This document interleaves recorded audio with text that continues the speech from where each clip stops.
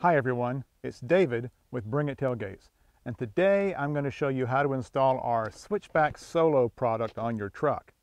Now I'll be doing the install on a 2017 F-150 but the installation process is pretty similar regardless of the truck you have.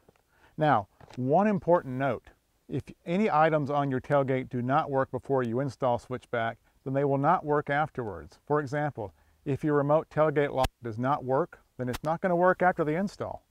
So we recommend you check all tailgate functions before you start the installation. It's not unusual that some of these functions stop working after some time, but you've never noticed them, especially the remote lock. All right, so let's get going. So before we get started, let's open up the box and see what we'll be working with today. The first thing we have here is the inline harness. Now this is specific to your truck.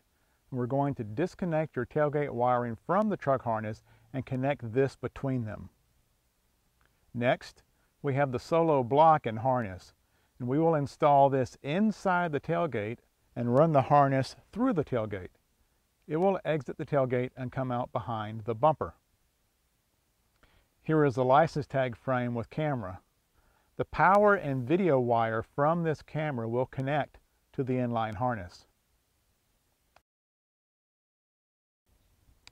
Now the first thing we're going to do is install the Solo block inside the tailgate. And when you get it, it's like this. You can bend this mounting strap down.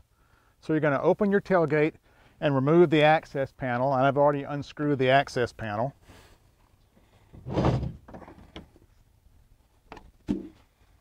And you'll notice there are ribs in the tailgate and we're going to mount the Solo block on a rib. Now anyone will do, but we recommend the one closest to the center of the driver latch. So here's the latch, and this is the driver side, and we're going, this is the rib we're going to use. So we'll mount the block after we run the wire.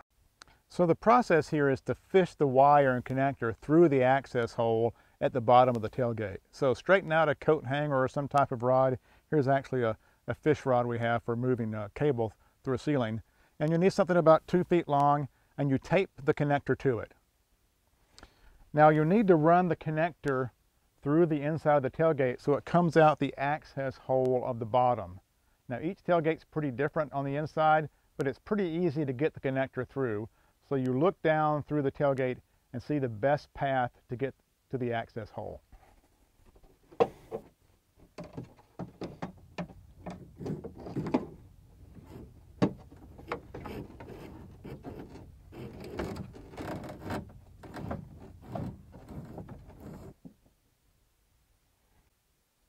Now it's time to mount the solo block.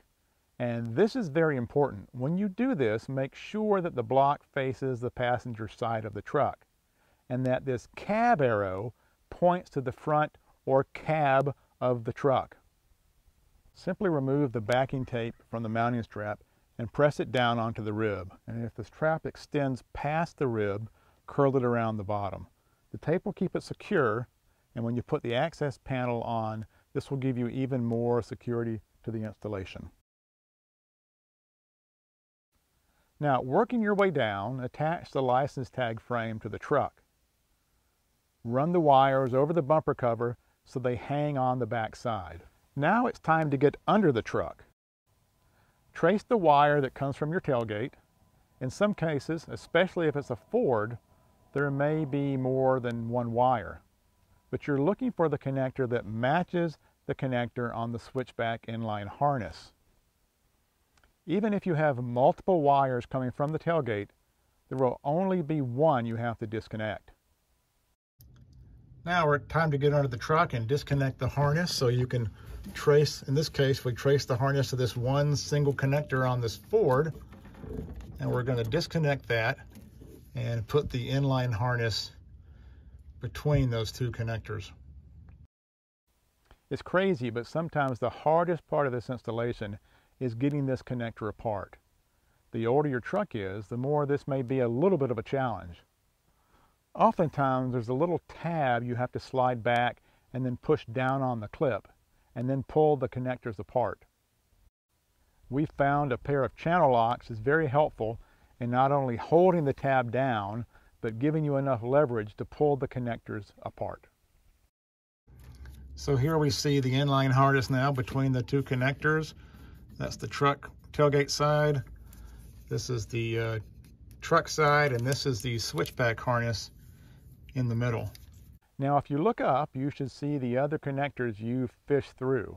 You can see the connectors for power and video from the license tag frame. Connect those to the appropriate connectors on the inline harness. We recommend you secure these with electrical tape. Finally, connect the wiring from the solo harness to the inline connector. Push the connectors together until you hear them click. So here we've connected the solo block harness that came from up there from the tailgate. You can see it from up there.